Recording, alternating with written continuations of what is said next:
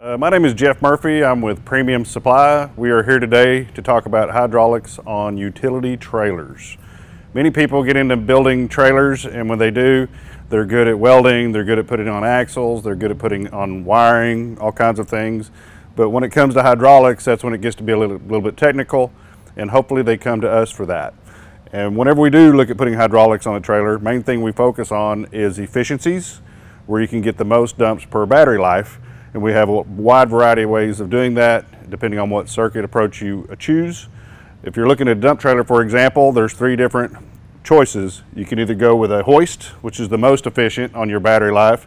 You can go with a direct push cylinder, which we'll talk about here in a few minutes. Those aren't as good, but they have advantages as well. You can also go with a telescopic cylinder. Each one of them have their pros and cons, and we will talk about those today. And also, then you got the plumbing side of the circuit, and there's a variety of ways you can address that. So we got pros and cons there that we'll go over as well. You can also have hydraulic jacks and you can have battery maintenance products.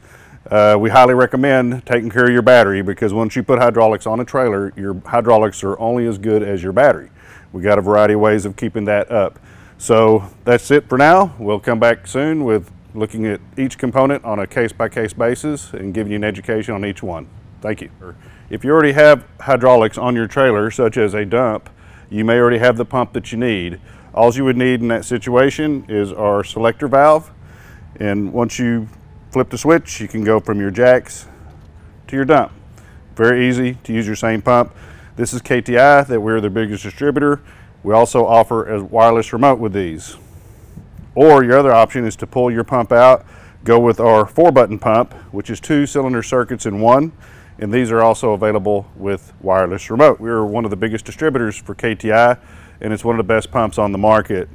This particular one is for a single cylinder circuit which can be used if you just want to put hydraulic jacks and nothing else on your trailer or if you want to just do a dump. So it can do just one cylinder only. Uh, it's available with wireless remote uh, and it's also available with manual override in case you ever get stuck in the up position and you want to manually bring it down so you can get it home and take, you know, work on it. KTI is one of the more innovative pump manufacturers on the market. They offer quick disconnects coming off of the pump. They also have a quick disconnect coming off of the pendant. So if you ever just run over this part, it's easy to install a new pendant. Also, they offer wireless remotes, a variety of them. This one is your standard wireless remote, similar to any pen that you might see, like for your car. Has the same quick disconnects. These wires go to your battery. Here's your antenna. Off you go. You can easily install this in the field. This has the same approach, but this particular one is Bluetooth. You can work it with your phone, or you can work it with the key fob. Same setup, you have the quick disconnects to wire into your cord, and with both of these products, you still have the ability for your pendant in case you lose this or this. Uh, and here's the antennas for this unit. One is for your phone and one is for your pendant. In order for our road charger to work, you must have power at your seven-way. Not all vehicles have power at your seven-way. Most 250 and up will have that standard. Not all 150s do. So in order to make sure you have it on a 150 or below, you'll have to test it either with your own testing procedure or you can use one of these testers that we carry I'll bring it up here where you can have a little closer look. You can see that light's got to be on, showing 12 volt.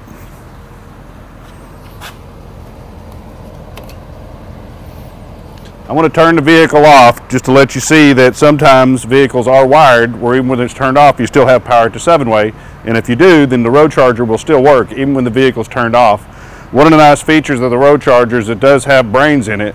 It will monitor the battery of the truck and make sure it never gets too low to start the truck. If it gets too low, it'll turn itself off. So you still always have plenty of power to start the truck. So let's try this. So as you can see, this truck does not have that setup where it's going to continue to give you power when the truck is turned off. But you may have that, and if you do, then you can get that benefit. This is our road charger. This unit allows you to work with your standard seven way. It puts out up to 20 amps when you're going down the highway. It only works when you have power at your seven way. We showed you in a video earlier how to test that and if you need help testing that. Uh, it also comes with these wires. These two go to the negative side, this goes to the positive side. This has a temperature sensor. It is watching the battery, making sure that the temperature is not too high. The higher the temperature, the fewer amps it takes. Many years ago, I was looking for a heavy duty solar panel to offer with dump trailers. I was looking for something that could handle rocks and debris. Tried out many of them and they all failed the test until I came across PulseTech. These guys have been in uh, business for many years and their number one customer still today is the U.S. military. So they meet mil spec. You can hit them with a hammer.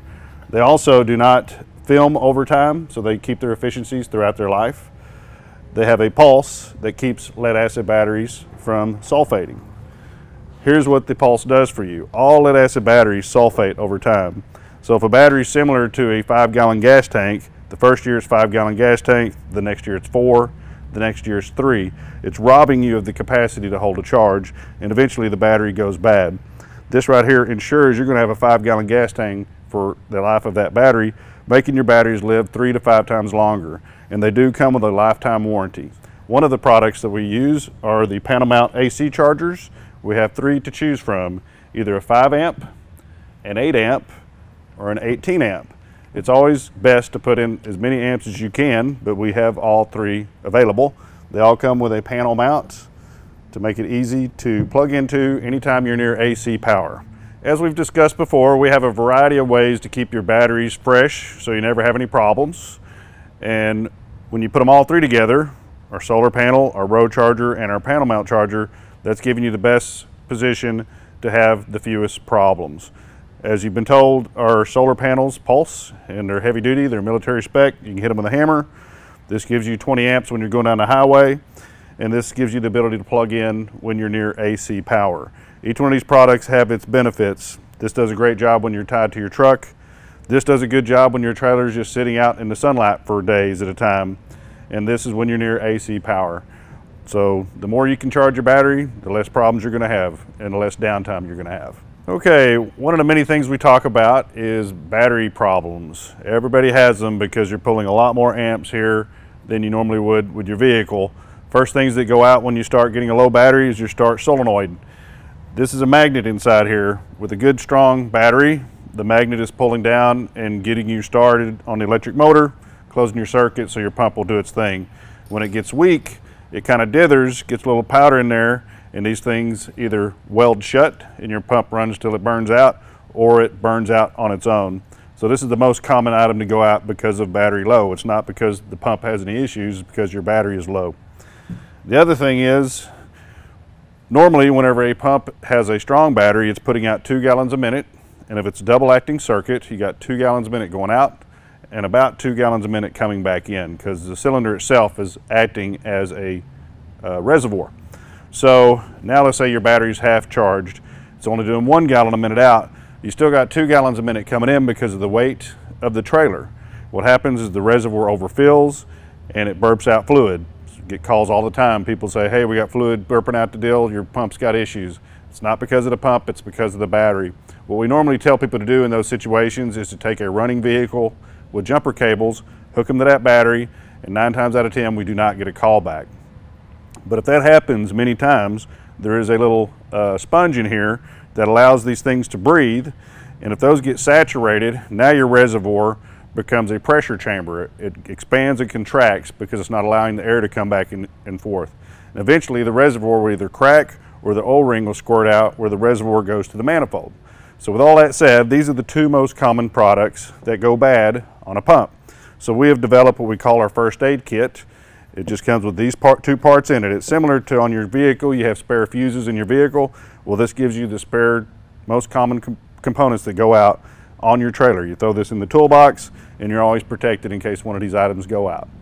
So there are two things you hear us talk about a lot. We talk about battery maintenance and fluid contamination. If you can keep your fluid clean and keep your battery up, you're going to have very few problems and very little downtime.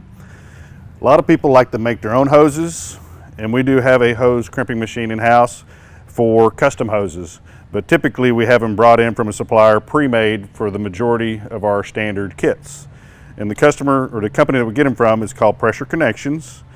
What they'll do is they'll cut the hose, and if you've ever cut a hose, it's very similar to cutting a tire. There's metal in here, there's rubber in here, and then you got the metal of the crimp itself.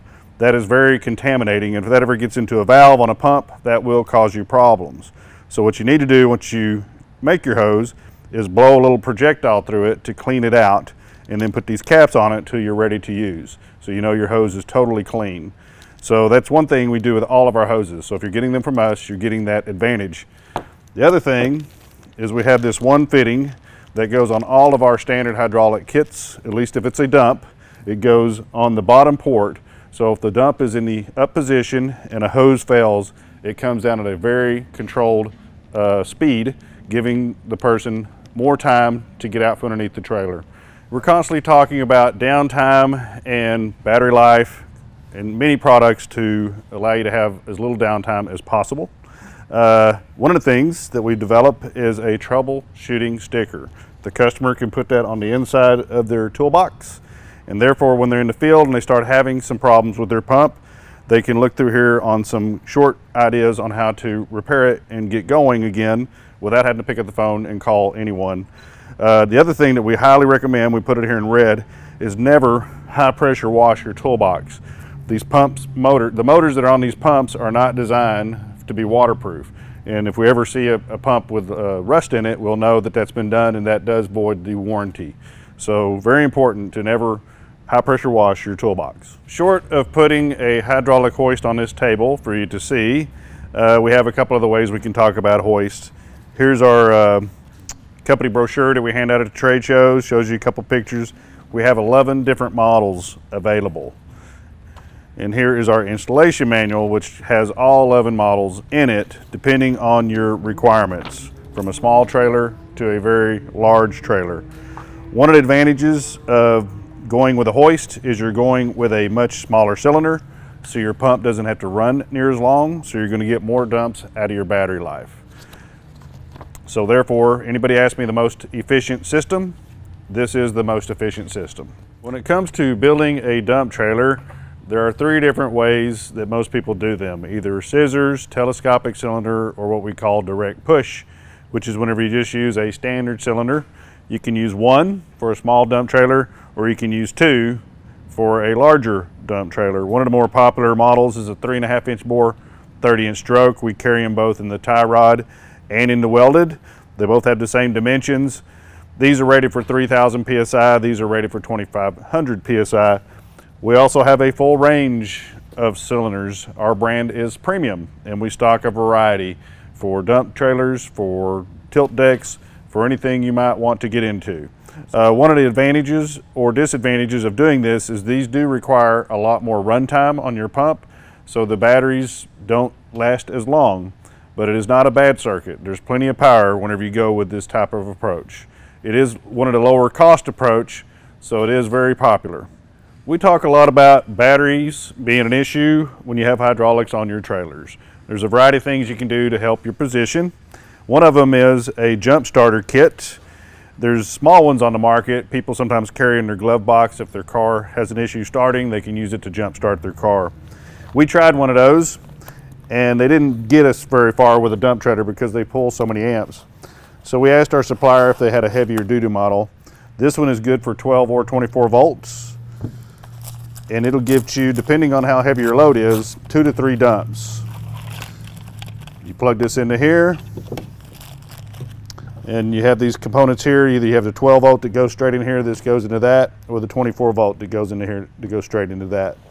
So just one of the many options we have to help you out and keep you from having downtime. Okay, with all the neat battery maintenance products that we offer, we came up with this contraption. We call it our power box. Utilizes all the products that we offer, including a master shutoff, eliminating any parasitic draw,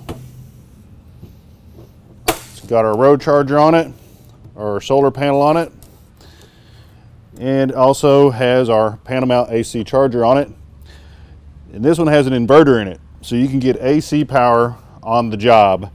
You can use that for, we have some plug-ins over here, where you can plug in your phone or your uh, small devices, phone related, you know, music on the job, things like that.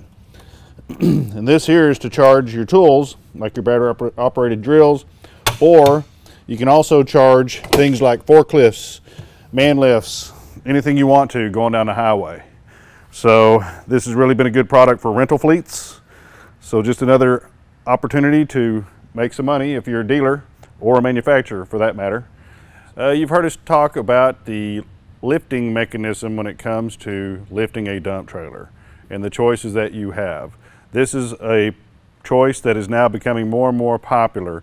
It really does give out a lot of force, so that is the pro of this approach. One of the cons are you do have to have a much larger reservoir. They're only available in single acting. And if you do want to haul equipment, the trailer might come up as you're trying to load your equipment because there's only one check on the hydraulic circuit and it's to keep the bed from coming down when you have it in the up position. It is not to keep the bed from going up when it's in the down position. But as I said, these things will lift a lot. So uh, that's the advantage of the telescopics. Uh, and it is all in the front of the trailer, so if you have a problem, you can work on it easily. You don't have to get underneath the trailer. Um, this particular power unit you're seeing here is used for whenever you want a telescopic cylinder with our double acting hydraulic jacks. So one half of the circuit here is single acting and the other half is double acting. And here's your mounting hardware. These two pieces go to the upper body. That's where the uh, trunnion mounts mount. And then this portion here, there's a bolt down here that goes into the H-frame for the lower part of your frame. One of the many popular things to put on trailers are winches. We are a Smittybilt winch dealer, offer a wide variety. The two most popular when it comes to trailers are the 10,000K, which is used on car haulers, and this is the 17.5, which is used on roll-offs. They come standard with a wireless remote setup you just disconnect here and there's your wireless remote. They also are waterproof standard.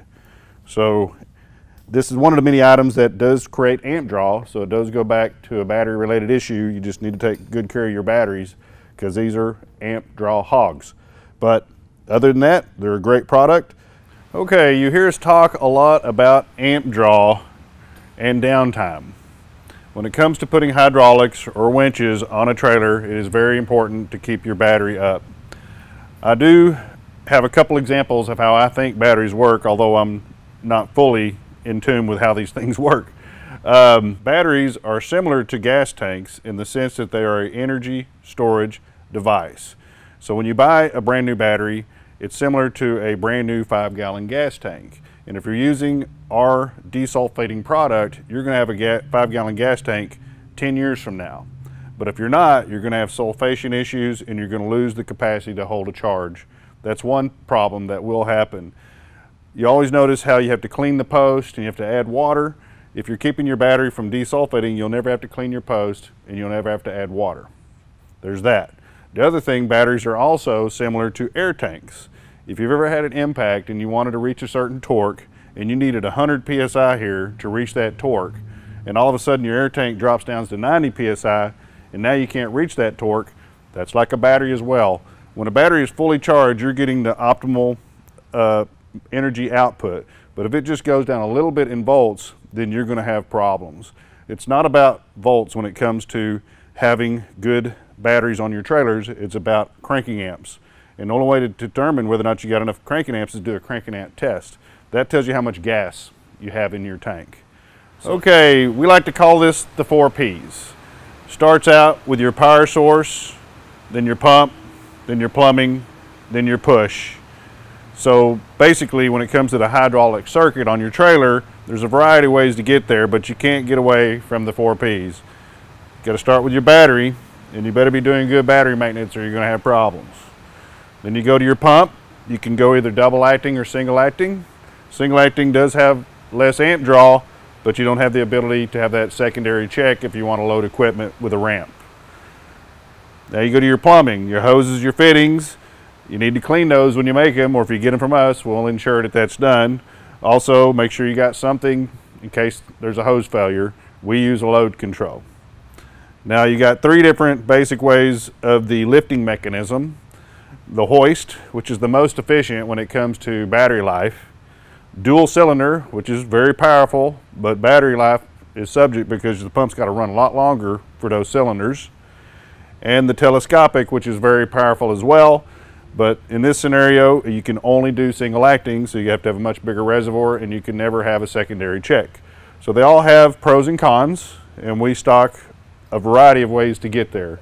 This is a KTI pump. This is the most common double acting circuit, which is for a single cylinder circuit. So if you have this on your trailer and you want to add more circuits, say you want to go with jacks and a dump, or even more, some people like to go with a uh, hydraulic door on the back of the dump. This allows you to have three individual cylinder circuits based off your standard uh, double acting pump. So typically whenever you hit this with your button here, you're energizing the starter solenoid for the motor, gets it running, and you're shifting a valve. So it's asking two valves to energize. Now when you hook this to here, you're going to get three valves to energize. And with this switch, you can select this one or this one. So depending on which one, you just come up here and select this switch and it gives you that cylinder circuit. This does exactly the same thing except for four cylinders. So you got four jacks and you want to individually work them. That's how you do it here with your selector valve. Okay, we also offer hydraulic jacks. Currently we have three different models. This is our 12K hydraulic jack. It has onboard load holding. So if there were ever a hose to fail while you're going down the highway, this thing holds in its last position. Come, we have them with uh, mounting brackets. We have them raw, so you can weld them to your trailer if you like and paint them yourself. We also have a 7K version that's also available with load holding or without. Thank you for watching. My name is Jeff Murphy. I'm with Premium Supply. We are your trailer hydraulic specialist. You can find us on the web at www.premium-supply.com or give us a call at 903 455 7777. Thank you very much.